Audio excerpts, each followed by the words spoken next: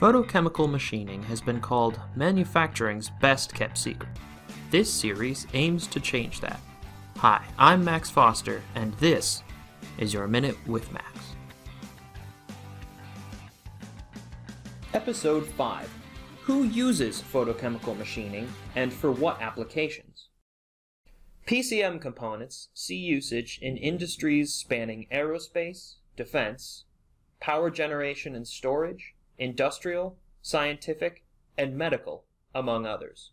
Companies large and small around the world have applications that are best met by PCM. Precision etched metal components are used in many ways.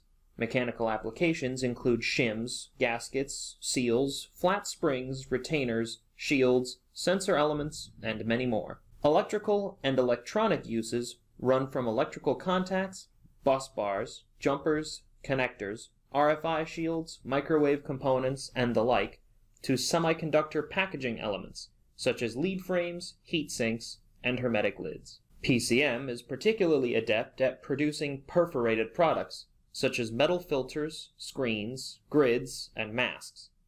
Not only that, but PCM is also uniquely suited for processing metal-clad materials such as Inconel on silicon rubber for flexible heating elements, copper on polyamide for flex circuits and magnetic field coils, and direct bond copper on ceramic for power semiconductors. Now that you know about the applications, on our next episode, we'll talk about us here at Conard, who we are and what we do. Hey, thanks for checking out this series. Hope you learned something. If you have any comments or questions, our social media stuff can be found over here. Until next time, I'm Max Foster, and this was your Minute with Max.